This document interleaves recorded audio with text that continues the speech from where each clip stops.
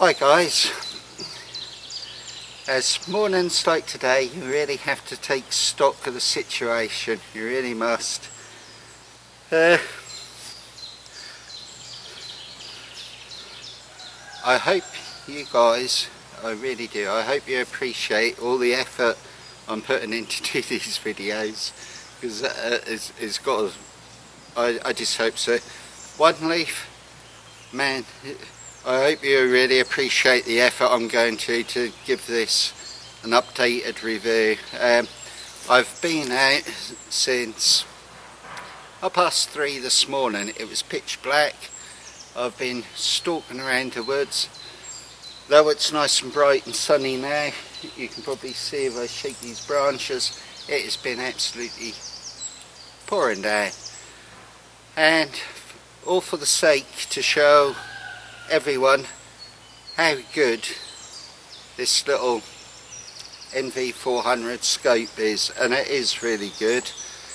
However I am absolutely soaked and you know when you suddenly have no epiphany I was in the hide waiting for the squirrels to come in and it just struck me really funny. What the hell am I doing up at stupid o'clock in the morning dressed in a ghillie suit in the pouring rain for you guys and for one leaf. And I, I, couldn't help but laugh. I just got the giggles and I don't know if it's sleep deprivation or something. But like I say guys um, I'm going to do an updated review on this? I'm so so sorry. I had loads of hunting footage on this loads. Um, Found out what the issue is. It was a corrupted SD card. I've replaced it. I've got some awesome footage, but nowhere near as much as I did have. The footage I had on here was absolutely superb. Uh, and I'm absolutely gutted. I've got no rat footage on here. I've got uh, no footage with the other rifles I tried it on. Literally, it is with this little crowd and what I've shot over the last three days um, and to be fair you can only shoot a rabbit or a squirrel once. Once that's been shot it's been shot and it's gone. You can't you can't it's not like going out on a target range and shooting the same target again and again and again. Um, it's, it's just a shame because I had cracking footage of the squirrels getting shot. Unfortunately not so today but I have got some footage. Um, the good news is the pigeons, uh, they've just drilled a field over the woods that way. Hopefully over the next few coming days I will get out on the pigeons. Uh, I might use this but more than likely I'll be using a Springer um, and I'm going to do a wrap on this um, NV400. It's going to be slightly different from before. All I can say is I'm going to hold my hands up here, one leaf. Uh, I apologise for the other review. In a way I do. Um, I followed the instructions on this scope to the letter. Uh, it was just unfortunate and I accept things do happen but it was corrupted uh, SD card even though I'd formatted it, it was corrupted and it corrupted the files. Uh, like I say, I've replaced the SD card. Now, the following review is going to be a hell of a lot different from the one before. But there's still a few issues with this little scope. But nothing sort of on the electronics uh, side of it. So with that, I'm going to go back to the workshop. I'm going to dry off. I'm going to have a coffee and I'm going to have a long hard think about life's choices should we say. Cheers guys. Hi guys, right we're in the workshop. Part 2 of this review on the One Leaf Commander NV400 Eagle 2 to 26 by 50. My god, what a mouthful. However, from now on I'll just refer to this as the NV400 because I don't want to keep repeating myself with that because I'll forget what I'm saying. Uh, right, what can I say? Hands up guys. I gave this what can I say? Uh, uh, I don't know what word I'd use to describe I wouldn't say a positive review, I wouldn't say a negative review. It was a mixed bag review. On the initial unboxing of this, uh, I was so so happy. I've had so many highs, lows and back to highs with this little bit of kit. But uh, I've, I've, I didn't feel my last video I did on this uh, piece of kit was fair to the kit. I wanted to give it another try and I'm so glad I did. The, the whole issue I had with this kit wasn't the kit per se, it was the fact that I had a corrupted SD card in here the SD card pops in here. It's the one what came with the package. It's 64 gig. I swapped it out for 128 gig SD card. I formatted it and it's working as should. Right, so I'm going to launch straight into it. What I love about this and what I think maybe uh, could be improved if uh, One Leaf listened to me. What I love about it, well, in its entirety, just about everything. For what you want as a day night vision scope, guys, this thing has it all, it really does. It is extremely good kit as a day night vision scope. The only issue I had with this was purely the camera side of it, the recording of footage and the playback of footage. However, I realise now it was a dodgy SD card, so my first advice, anyone wishing to purchase this, don't use the one what come with it. Go, they're cheap enough, go and get yourself at least a 128 gig SD card and you'll be a lot happier with it. You really will. Uh, the clarity on this is absolutely phenomenal. I, I've got some footage to show you at the end. It was all day footage. Uh, I had night footage on here.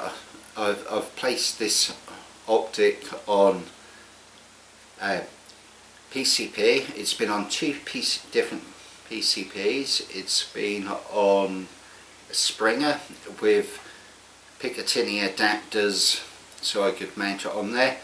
Got to say guys, uh, this is rated for the recoil of a 308. Now we all know Springers can destroy centerfire, scopes rated for centerfire, but this has been fantastic. I've had no issues with that whatsoever. It's been on 22LR, formed absolutely superbly and it's been on 1.7 HMR, superb. I think um, One Leaf sold themselves short a little on how they say uh, the like um, how far out the IR goes on this and the clarity on it. I'm telling you guys, I'm using the IR illuminator which come with it which is a lovely bit of kit. I love this. I wish they all came with it. When you turn it ah, it's not going to turn on no battery in there. But when you turn it on it'll light up this on here dull glow and you'll see what strength you're uh, doing your IR it's very easy to attach. It's literally attach this on the side or top Picatinny mount use this little gadget here. Uh, tighten up with the allen key then use this little gadget here to slacken off the torch. I don't know if you'll see this but then you can adjust the uh, torch in to focus where your reticles point. And brilliant idea. Love that. Like I say uh, I think one leaf would be in um, I don't know uh, they weren't doing themselves justice on that little unit. I could see foxes and roe deer and muntjac deer clear as day out to 200 yards plus and I and I'm talking about not just like the eye shine of them I could see full body image of it. It was fantastic footage. Uh, um, what can I say? Obviously uh, could, you're not allowed in the UK to shoot deer using artificial illumination. So that wasn't done. It was on an HM, uh, 17 HMR anyway so you couldn't do it. Fox's Actra 150, it was absolutely brilliant piece of kit. I had the footage, I lost it, it was a corrupted file. So basically, all what frustrated me the most on my last review was all about the fact that I'd lost hours and hours of footage. I've put in several days working purely with this scope and the footage is gone the footage I do have doesn't do this scope justice but it does show you what it is. Right, other things I like about it. I like how easy it is to adjust your near far focus. That's brilliant. I love the fact that you can put this in first focal plane or second focal plane. I love the fact that all the menu, rather than accessing like the quick buttons here, you can just click on this and you can go through the different menus unfortunately for you to be able to see the menu this is what I don't like one leaf you're going to have to do something about this. This is the micro USB connector with the D connection there. You unscrew this where which is the where the SD cap is. You plug this in plug it into the computer. All well and good if you're taking the scope of the rifle but I would suggest to one leaf to put a longer one in. It's it's for you to safely handle the rifle or to connect it to computer this just is not long enough. You want at least a 1.5 meter length of this you really do. The USB charging cable is a little bit longer. It's still a pain in the bum for charging uh, charging this little unit because of the length of it. Again this could one leaf if you're listening to me my advice put a 1.5 meter cable in there. Or if one leaf don't do it I mean that's something you guys are going to have to budget for. Right I, I keep covering negatives here and there's so many good features on this I don't want to do it. I want to focus on the positives. This little gadget now this is your LRF and I'll take it up to the camera in here you have got a red dot laser. You've got your adjustment screws top and bottom. That is absolutely awesome for feral pigeons in a barn. Um, it, you can just use the red dot, you don't really need to look through the scope as such, you can just place the red dot on the bird and it, it will do the business. Once you've zeroed it in, I found the laser rangefinder on this, I found it incredibly accurate.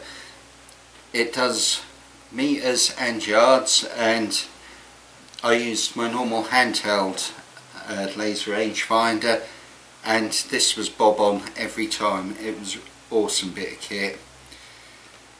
Uh, like I said I cannot show you guys. At the end of the video you'll see some of the footage I've got so you're seeing what I'm seeing through the scope but you can't see all the widgets without me hooking this up to the computer and like I say I, I just can't do it guys um, however I believe uh, another chap in Australia has done a review on this where he is able to hook it up to his computer and you can see all the widgets and the menus and stuff. This menu is incredibly easy to operate, it really is. Um, I'm not the best with computers as you probably gathered but I found it an absolute doddle. Uh, one thing I will say is, it's only a little gripe, even though I'm trying to concentrate on the positives on this, is when this is connected, it'll either, this is the illuminator, it'll either go on a Picatinny on the side or on one of these top mounted Picatinnys. At night time I found when you go to adjust the near far focus which you really need to do to get absolutely pin sharp focus this little cap is popped open for nighttime use.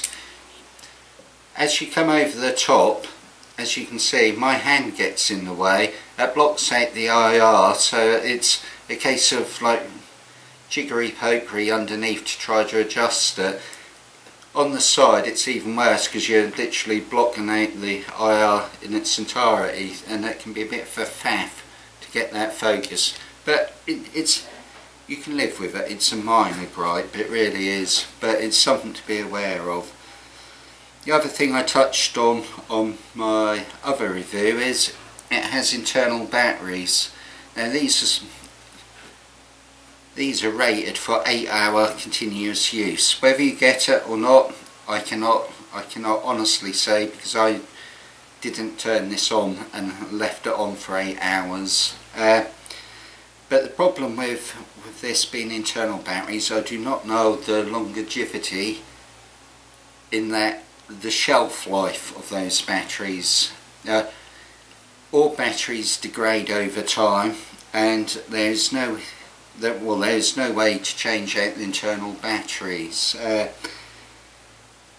however it does have a external battery here. This is an absolute doddle to change. You can just unscrew this, you can pop in. At the moment I've got the 50mm one. Uh, 18650 type battery I've got the 50mm one in you can put the 65 the Nipolus you can get loads and loads of replacements off them got to say battery issue wasn't a problem at all for me I, it, I never even got under half a battery drained off this so it's really really good uh, the only other, it's, it's not a gripe but it's something for you guys to be aware of. If you're like me when you uh, a night shoot and you're used to turning this on and off or even daytime shoot and when you power this up it takes a good 15 seconds for you to get a, everything to fire up inside and you be able to feed through this and get a reticle.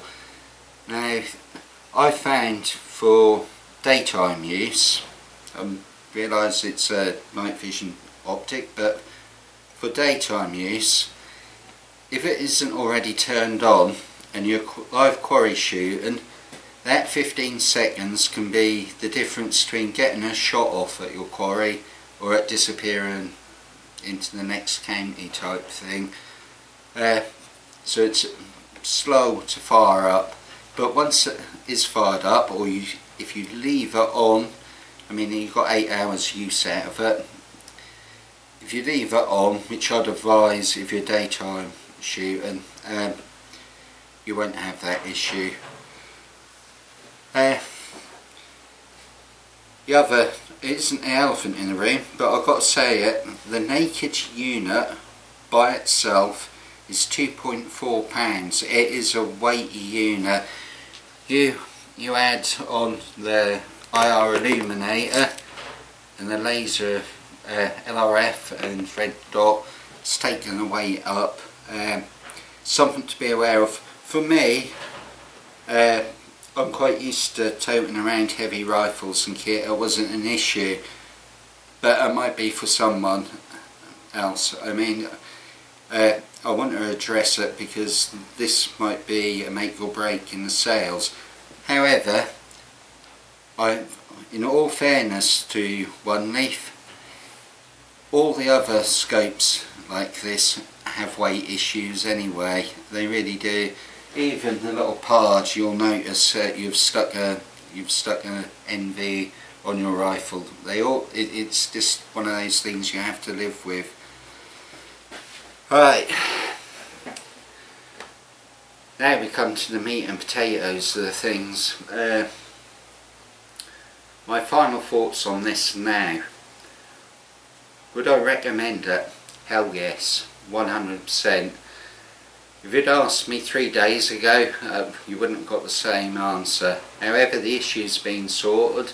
And I'm pleased to say this is an absolutely fantastic, awesome bit of kit. You've really got to look for it and I'm so, so sad that I can't hook this up now to a laptop and show you the clarity through this, but I can't.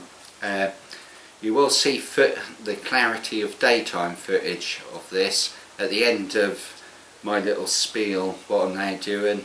Um, because I've I've uh, shown you the zero type uh, kind of me zeroing this in and you'll see me shooting some live quarry.